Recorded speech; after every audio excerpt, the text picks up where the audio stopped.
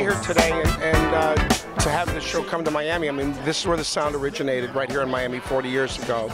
And so to have this production happen right here on the Arsht stage in Miami, uh, uh, you know, a, a, performance about that period of time, the 70s, is just, it's just great. It's great. It's so exciting to, to know that, um, you know, all the critics all these years tried to convince me and Donna Summer and the world that, you know, disco was bad or something. And this proves it, that it's timeless and that it's exciting and it's, it's, it's, it's a chance to come out and have a great time. We live some old memories and for those that have never experienced it, to come out and experience, you know, this, this wonderful experience too.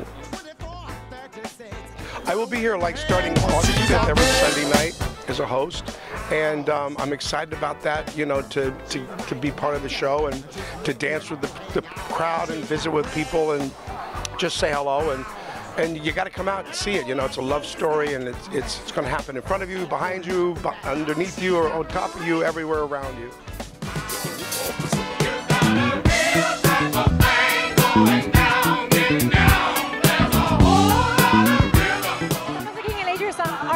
Para el The Donkey Show, el nuevo espectáculo que viene aquí en el Art Center este verano.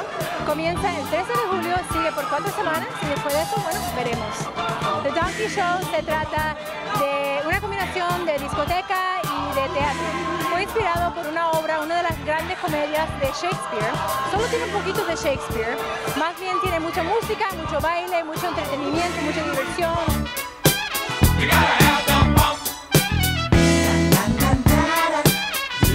Casey of Casey the Sunshine Band. Saludos a mis amigos, Show Business TV.